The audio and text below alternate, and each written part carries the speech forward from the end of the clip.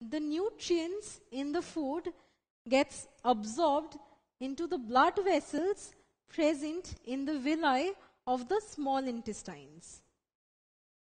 Now these undigested, unabsorbed food gets transported from the small intestine to the large intestine and then it gets finally eliminated from the body. Now, after food gets absorbed by the small intestine, it enters into the blood flow. The blood vessels carry this blood that has absorbed food into the various parts of the body. Now let us see what is happening inside the cell.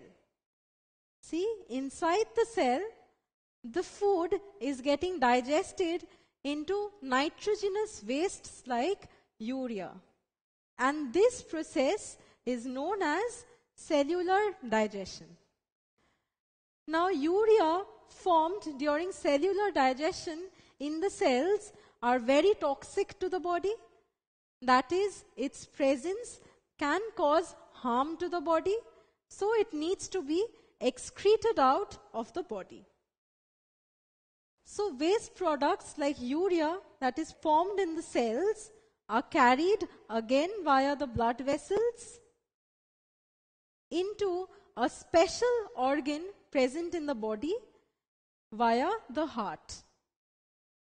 This special organ that is present in our bodies are known as the kidneys. Kidneys are bean shaped organs that are present on the either side of the backbone. See? We have two kidneys in our body. The primary function of the kidney is filtration. It works just like a water filter. It filters the blood and takes out all the impurities that are present in the blood like urea and gives out purified blood back to the body. So this is the main function of the kidney.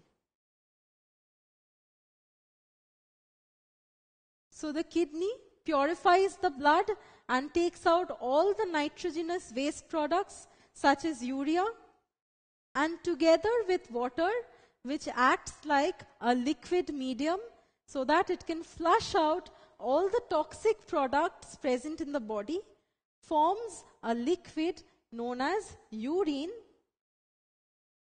And this urine is then eliminated from our body.